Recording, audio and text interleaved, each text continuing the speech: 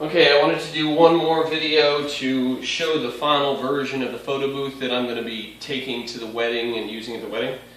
Um, I'm now running it on just a tiny little netbook right here. The netbook is just connected to the camera and Arduino setup. The Arduino is used for uh, the PIR sensor and connecting to the, the wireless controller. Um, I'm going to go ahead and start the software so you can see it. When it first starts up, it opens up the camera and uh, you know shows a little viewport of me standing here. I can then toggle it full screen and you'll be able to see that it's showing the photo slideshow right here.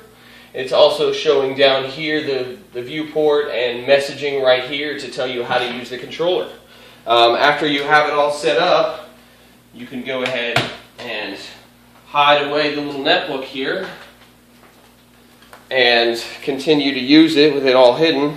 Um, to, to use the controller, you'll see I have attached it to a little glow stick right here to, so that I'll be able to keep track of it.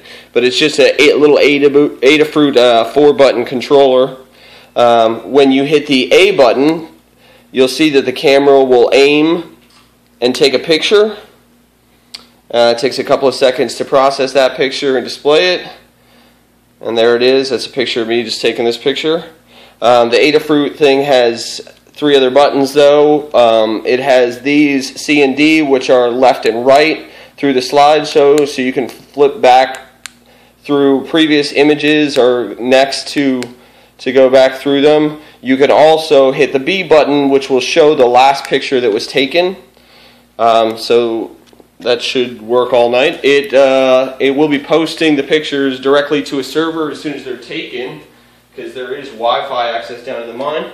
But the reason I changed the setup to be this is because I wanted the minimal amount of stuff that I actually have to take on the plane. So this way I can just use any screen that I can borrow when I'm over there and just be carrying the camera and the netbook alone on the plane so I don't have to worry about any other hardware to carry. Um, and that's the setup. I'll post my pictures on my Google Plus feed after it's done. Hope you enjoyed it.